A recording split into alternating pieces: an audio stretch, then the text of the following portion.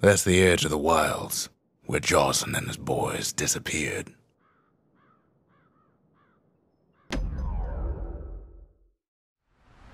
In time, we charted the wild unknown, but we kept the name. Place is so raw, even the Calamity couldn't cook it. Not all of it.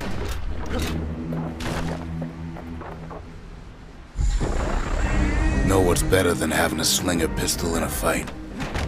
Having two. Savage things lurking at every turn.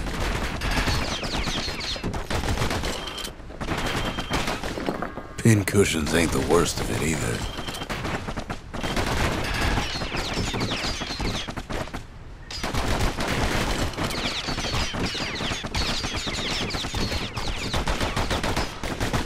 Kid's faster than a slinger with those guns.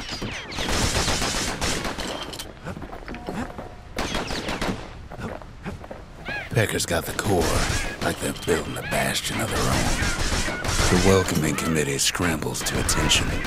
Didn't expect the kid so soon.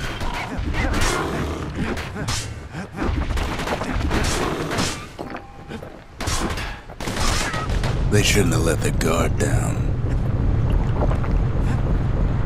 Getting that core was one thing. Getting out's gonna be another. He digs his way out of the clearing, but the wilds won't let him go without a fight. Wallflowers survived the calamity. It toughened him up. Same goes for the kid.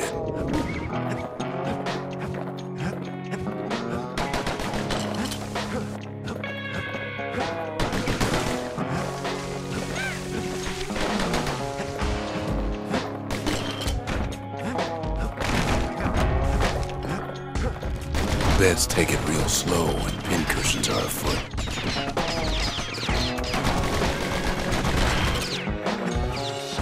Slinger Jawson's old outpost is all that's left of him. Kid sticks to his old standbys.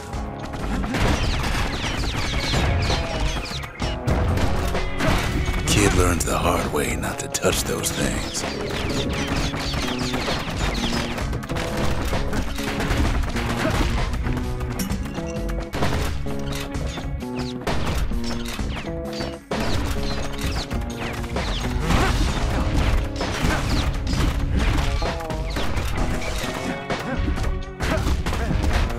Don't ever turn your back on a pincushion. A handful of windbag shipments made it out this far.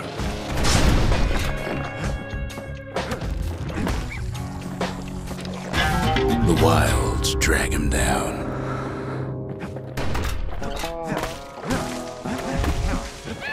Jawson's boys left all kinds of stuff out here.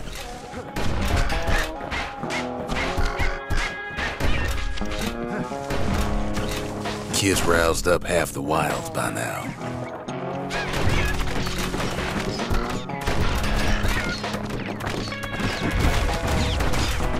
Then Kid gets the feeling he's being watched.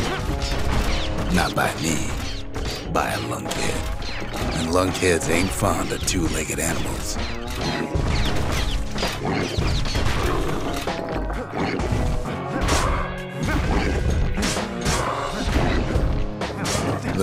Calamity must have scrambled their eggs.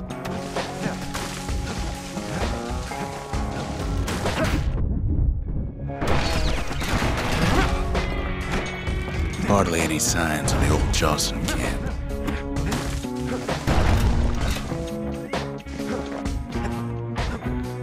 Sees a smooth black stone coughed up by the calamity.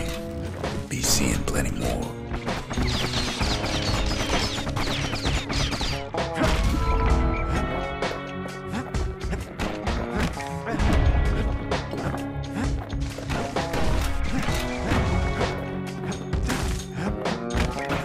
Wilds already reclaimed this place.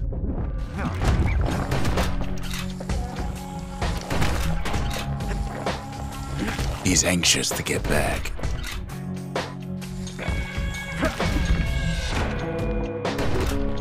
After all, he's got the final core. His journey's over, right? Well, no, it ain't. Not by a long shot. This place is.